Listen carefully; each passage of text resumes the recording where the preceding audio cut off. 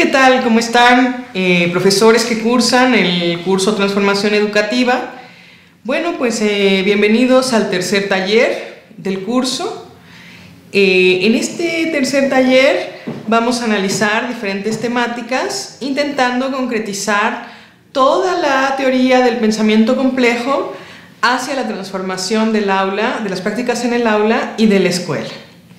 Entonces, en este taller vamos a analizar diferentes temas desde la transdisciplina, pero cómo también eh, finalmente la comprensión de la inter y la transdisciplina se va a reflejar en el trabajo en el aula. Bueno, pues eh, para ello hemos dispuesto en la plataforma diferentes temas que tienen que ver con la educación personalizada, el trabajo por proyectos, el desarrollo de las inteligencias múltiples, el trabajo colaborativo en la escuela, entre otros. Y bueno, ¿por qué es así? Porque finalmente si nosotros comprendemos que el pensamiento complejo intenta generar respuestas interdisciplinarias a la multidimensionalidad de los problemas del mundo de la realidad, entonces necesitamos también cambiar prácticas en la escuela que nos lleven hacia esa comprensión de la realidad amplia, compleja, pero también eh, dotar a los estudiantes de herramientas que en el futuro les permitan eh, resolver problemas en su vida, tanto personal como profesional, teniendo una comprensión compleja de la realidad. El trabajo por proyectos en la escuela eh, es uno de los temas donde veremos que la necesidad del uso de un currículum flexible. En Ecuador, el Ministerio nos ha informado de que ustedes pueden utilizar su currículum educativo de manera flexible para poder llevar a cabo proyectos escolares. ¿Qué quiere decir esto?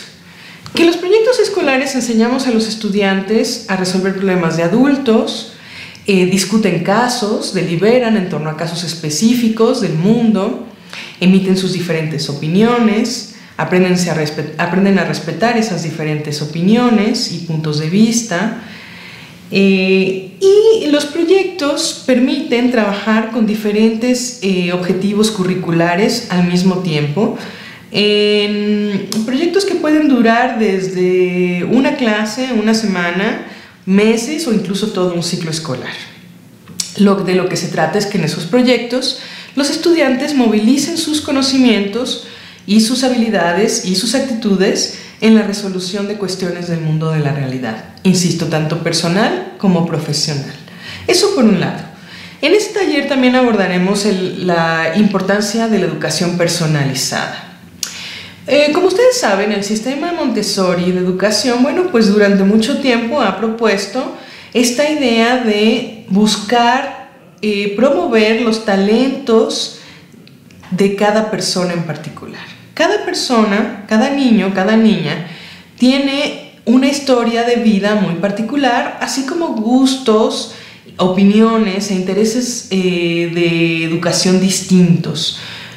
Mm, a diferencia de los sistemas educativos del pasado, que buscaban homogeneizar los conocimientos y estandarizar los conocimientos genéricos a todos los niños y niñas, lo que las ciencias de la educación y el pensamiento complejo han planteado, pues es la necesidad de educar de manera personalizada, buscando que los talentos e inteligencias de cada niño y de cada niña sean promovidos y potenciados en lugar de ser cercenados o simplemente no vistos.